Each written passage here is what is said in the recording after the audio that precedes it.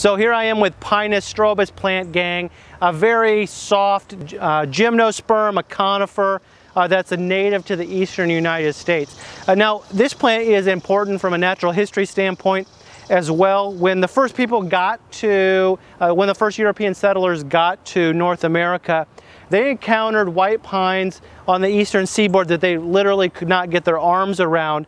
Uh, and they really thought, man, uh, when they thought back to a virtually treeless Europe, a continent that had been completely uh, deforested by people, and they saw these giant white pines and they thought of the mass of ships that could be built uh, and they really uh, were interested uh, in this plant. In fact, one of the first prototypes of an American flag had a white pine on it.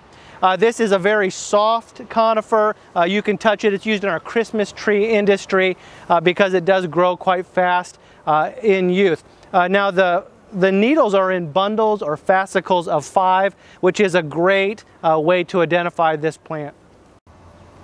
Pinus strobus, the white pine, 50 to 80 foot high, 20 to 40 foot wide, quite pyramidal in youth, can spread out a little bit with age. Hardy from zones 3 through 7, then kind of a soft zone 8. Uh, this is a big uh, pine uh, that there are not many left uh, in North America uh, of, the, of the stature that uh, maybe the first Europeans would have encountered as they came to North America. Here's a landscape tip.